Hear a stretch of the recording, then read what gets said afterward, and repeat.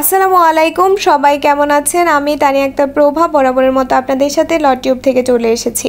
তো আজকের লেকচারে আমি যে বিষয়টি নিয়ে আলোচনা করতে যাচ্ছি, সেটি হচ্ছে নিবর্তনমূলক আটক এবং বিশেষ ক্ষমতা আইন নিয়ে আমি আলোচনা করব, যেটিকে ইংরেজিতে বলা হচ্ছে preventive detention and the special powers act nineteen four. তো এই লেকচারটিকে আমি দুই ভাগে ভাগ করেছি। তো আমি আজকে প্রথম ভাগটি নিয়ে আলোচনা করতে যাচ্ছি। তো আলোচনা শেষে আপনারা কি কি জানতে পারবেন সেটা যদি আমি একটু বলি, সেটি হচ্ছে আটক সাধারণত কত প্রকার এবং নিবর্তনমূলক আটক কি? এবং নিবর্তনমূলক আটকের পেছনে কতটুকু যৌক্তিকতা আছে? এবং নিবারণমূলক বা হচ্ছে নিবর্তনমূলক আটক সংক্রান্ত বাংলাদেশি কি আইন আছে? এবং পরবর্তী যে দুটি আপনার প্রশ্ন দেখতে পাচ্ছেন, সেটি আমি পরবর্তী লেকচারে আপনাদের সাথে আলোচনা করব। তো প্রথমত চলুন দেখে নেওয়া যাক যে আটক সাধারণত কত প্রকার? আটক সাধারণত দুই প্রকার, একটা হচ্ছে শাস্তিমূলক আটক আর দ্বিতীয়টি হচ্ছে নিবারণমূলক বা হচ্ছে নিবর্তনমূলক আটক। তো শাস্তিমূলক আটক কাকে বলে? আপনি যদি কোনো আইন লঙ্ঘন করে কোনো অপরাধ সংগঠন করে থাকেন, সেই ক্ষেত্রে আপনাকে যখন গ্রেফতার করা হবে, তখন সেই আটককে বলা হচ্ছে শাস্তিমূলক আটক। কিন্তু প্রিভেন্টিভ ডিটেনশন সেই শাস্তিমূলক আটক থেকে একটু ভিন্ন। কারণ, আপনি কোনো আইন লঙ্ঘন না করে, কোনো অপরাধ সংগঠন না করার পূর্বেই যখন আপনাকে আটক করা হবে, তখন তাকে বলা হয় নিবারণমূলক বা হচ্ছে নিবর্তনমূলক আটক। একটি লোক কোনো অপরাধ করেনি, ওকে? তো রাষ্ট্রের কোনো অনিষ্ট কাজে লিপ্তও হয়নি। কিন্তু সে মুক্ত অবস্থায় থাকলে দেখা যাচ্ছে আপনার সে অপরাধ করতে পারে বা রাষ্ট্রের অনিষ্টকরণ কাজে লিপ্ত হতে পারে। এই আশঙ্কায় কোনো ব্যক্তিকে আটক করাকে আমরা বলছি নিবর্তনমূলক আটক। ওকে। তো কে হচ্ছে নিবর্তনমূলক আটকটি করতে পারবে? মা হচ্ছে সেই পাওয়ার্সটি কাকে দেওয়া হয়েছে? তো আমাদের সাধারণত সরকারকে এই পাওয়ার্সটি দেওয়া হয়েছে এবং হলো নিবর্তনমূলক আটক আপনার নির্বাহী বিভাগ কর্তৃক যে কোনো ব্যক্তিকে কোনো অভিযোগ গঠন ব্যতীত এবং বিনা বিচারে আটক রাখা যে উপায়টি, সেটিকে আমরা হচ্ছে নিবর্তনমূলক আটক বলছি। মানে হচ্ছে এখানে হচ্ছে কোনো অভিযোগ গঠন ব্যতীত এবং বিনা বিচারে একজন ব্যক্তিকে বছরের পর বছর আপনি আটক রাখতে পারবেন। তো এই ক্ষমতাটি হচ্ছে আমাদের সরকারকে দেওয়া হয়েছে। ওকে।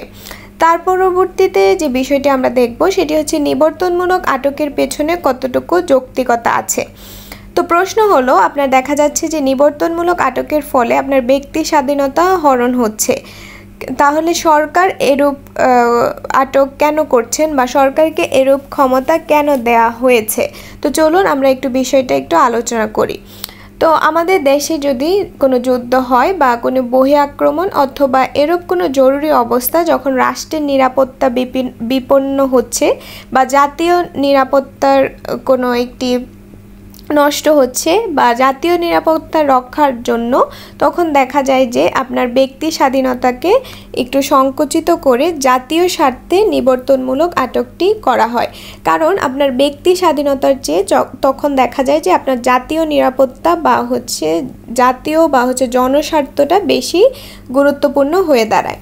তো রাষ্ট্রের যে নিরাপত্তা যখন বিপন্ন অথবা রাষ্ট্র যখন যুদ্ধরত অথবা রাষ্ট্রে যখন প্রচণ্ড অসংকট চলছে, তখন কোনো নাগরিক বা বিদেশি হয়তো রাষ্ট্রের নিরাপত্তা পরিপন্থী কাজ করতে পারে বা সেটার সাথে জড়িত থাকতে পারে। এরূপ আশঙ্কায় ব্যক্তি বিশেষকে আটক রাখার বিধানটাই হচ্ছে আপনার আপনার নিবর্তনমূলক আটক। তো কেন রাখা হয়? আশা করি আপনারা বুঝতে পেরেছেন। প্রথমত হচ্ছে রাষ্ট্রের নিরাপত্তা, জনস্বার্থ এবং জাতীয় নিরাপত্তা।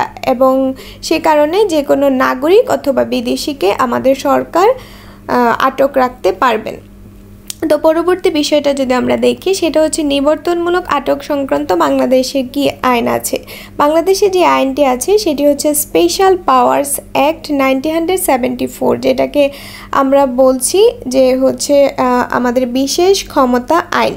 তো এই আইনটি আমাদের বিচার বিভাগ সরি আমাদের আইন বিভাগ থেকে হচ্ছে ত্রিশ নং অনুচ্ছেদ যেটা আমাদের কনস্টিটিউশনে আছে, সেই ক্ষমতা বলে তৈরি করা হয়েছে বা পাশ করা হয়েছে। তো আমাদের সংবিধানে তেত্রিশ নং অনুচ্ছেদের এক এবং দুই উপ অনুচ্ছেদে বলা হয়েছে যে রাষ্ট্র রাষ্ট্রের নাগরিকদের জন্য গ্রেপ্তার ও আটক সম্পর্কে মানে আপনার রক্ষা কবচ হিসেবে এই এই এই আর্টিকেলটি কাজ করে।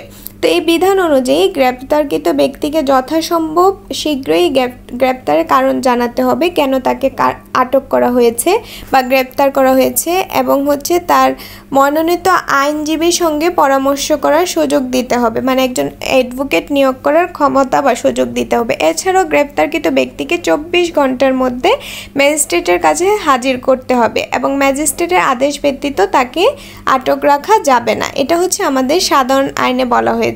তো আমাদের যে স্পেশাল পাওয়ার অ্যাক্ট সেখানকে কিন্তু আমাদের কোনো আপনার কোনো কমপ্লেন ছাড়াই আমরা হচ্ছে একটা ব্যক্তিকে আটক করে ফেলতে পারছি।